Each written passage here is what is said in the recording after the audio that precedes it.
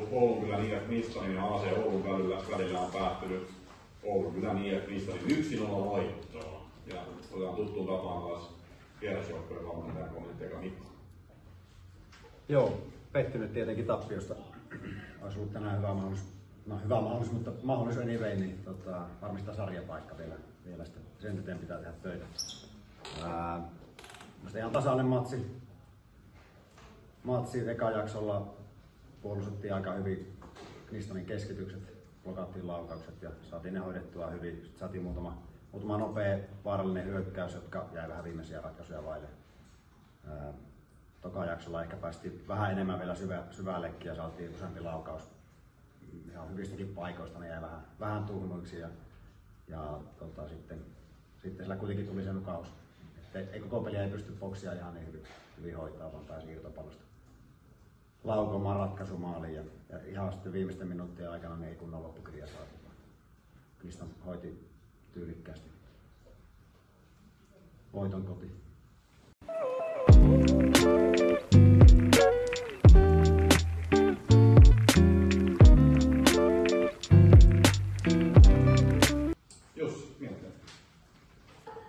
Joo, tosi tasainen peli, että eka jakso aaltoili. Ehkä se ihan alku oli niin meidän, että siinä me saatiin riistoja, ää, päästiin siihen niin kuin 25 metriin, mutta ei saatu viimeistä syöttöä toimia. Se oli kolme neljä saumaa niin kuin kapitalisoida se niin kuin hyvä alku.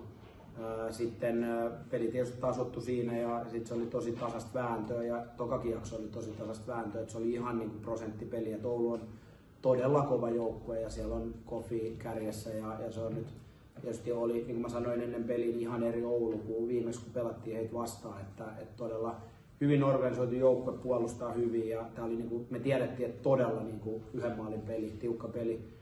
Se mitä me tehtiin hyvin, me parannettiin kahden edellisen pelin jälkeen meidän niin puolustuspelaamisen tällaista tiiviyttä, että kun me prässätään aggressiivisesti, miten me siirrytään matalalle, miten me siirrytään matalalta korkealle, siirtymät oli niin hyviä, ne oli intensiivisiä, mitä ne ei Eiffin vasta ollut. Me puolustettiin omista tosi hyvin.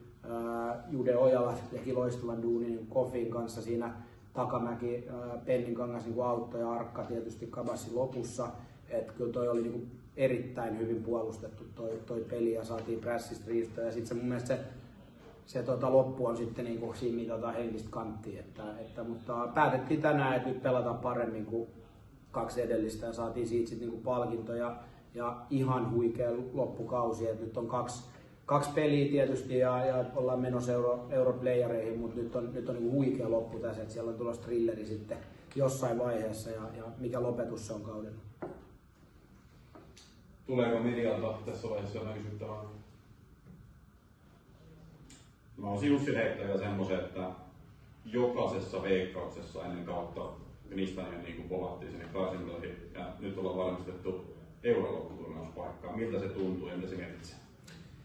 No onhan se valtava juttu, kyllä se tuntuu niin joukkueesta todella hienolta, että, että me ollaan tavoitteellinen joukkue, tuossa on tosi, tosi kova mentaliteetti tuossa joukkueessa niin kilpailla. Ja, ja, se on näkynyt tällä kaudella, se on hieno homma, nyt saadaan tämmöinen tämmöinen loppukausi siinä, että, että mutta sitten taas pitää niinku muistaa, että ei tässä pidä niinku tyytyväinen olla, että saadaan kovia pelejä tähän loppuun, vaan, vaan me halutaan niinku voittaa ja menestyä siellä, mutta, mutta siellä tulee niinku thrillerit.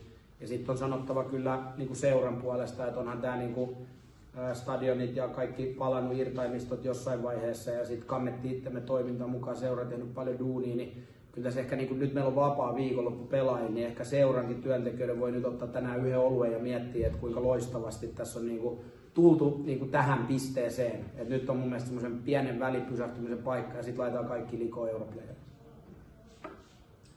Kiitos. Päätämme